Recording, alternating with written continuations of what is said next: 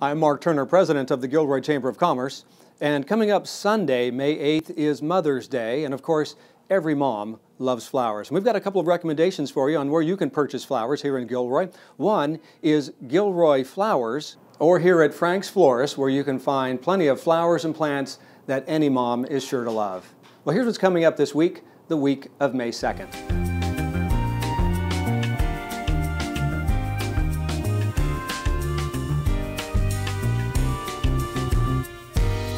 On Wednesday, May 4th at lunchtime at the Chamber of Commerce, you can come by for a lunch and learn program that we're doing where you can learn six tips on how to build customer loyalty. You can go online, register there, and get more information at the Chamber website.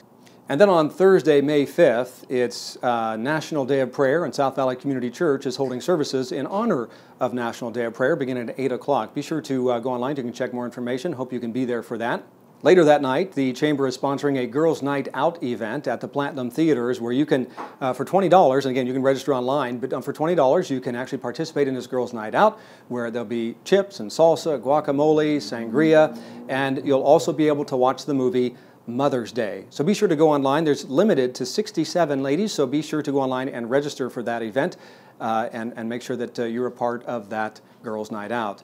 And finally, on Friday, May 13th, we have our Government Relations Committee meeting where we're going to be having representatives from an organization called California Water for All.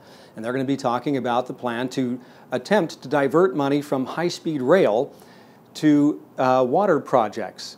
What's the priority, high speed rail or water? They're going to be talking about that. We have a lot of questions for them, and we would like your input. If you have questions, if you want to participate and be a part of that discussion, be sure to uh, come to our GRC meeting on Friday the 13th of May, beginning at 7.30. Be a part of that discussion and learn about these issues.